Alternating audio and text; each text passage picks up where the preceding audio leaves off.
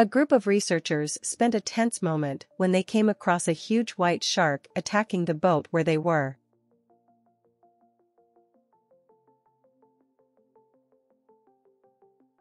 When we talk about sharks, we automatically feel a chill down our spine, don't we?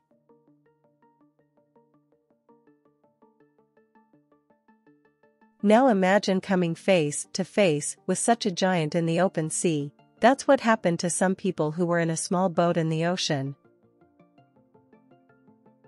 They are researchers who were observing and studying the behavior of sharks, but they didn't imagine that suddenly a huge white shark, which is one of the largest shark species found today, would appear right next to the boat they were on.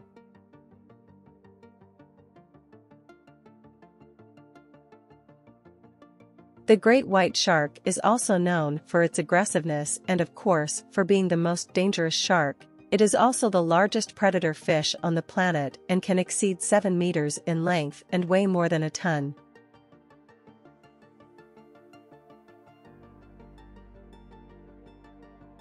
At this moment the big animal approaches the boat and bumps into it, we can notice that the shark must measure about 5 meters long, the researchers are impressed with its size, but what they didn't expect was that the predator would simply attack the boat.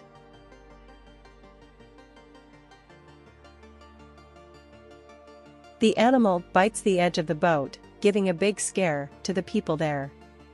Fortunately, it leaves soon after. The motivation of the animal's attack may have occurred because it felt threatened and for territorial invasion. Imagine how desperate they were.